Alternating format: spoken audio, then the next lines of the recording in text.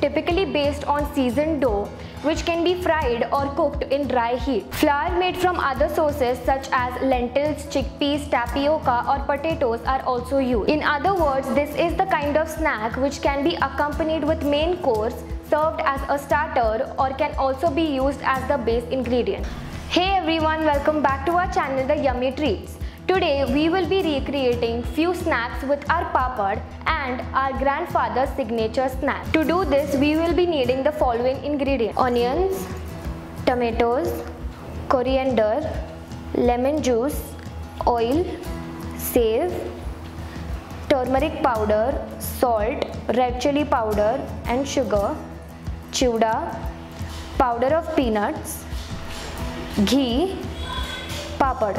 The base papad can be oil fried or roasted but I prefer roasted papad because it is more healthier. The first thing today is masala papad, the most favorite and 99% the first order that you place in the restaurant. In masala papad, the base can be roasted or fried. In our case, we are using the roasted papad. On top of roasted papad, we add onions,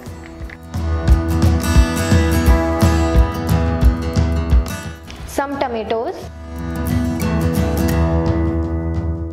sev, red chili powder, pinch of salt, now some coriander,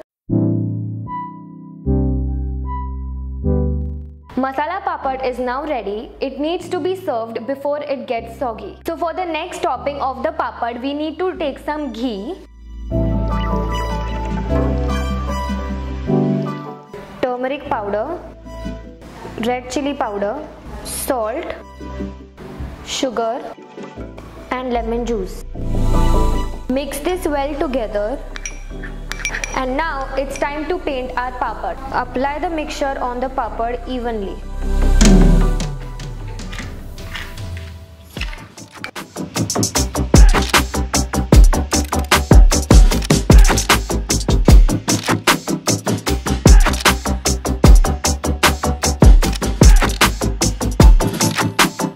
Your papad is now ready to serve. So the third variation is really close to my heart as my grandfather he used to make this recipe whenever he used to come back from his work. I don't really know if this was ever an actual recipe or he just used to grab the things whatever he saw but it tasted really yum and we are gonna try to make the same. In a bowl add some crushed roasted papad, chuda, some oil,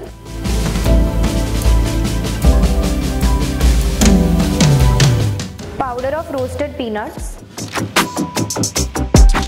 red chili powder, salt, lemon juice,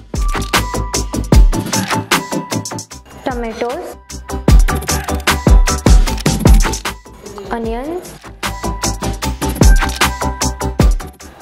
sev, coriander, give it a quick mix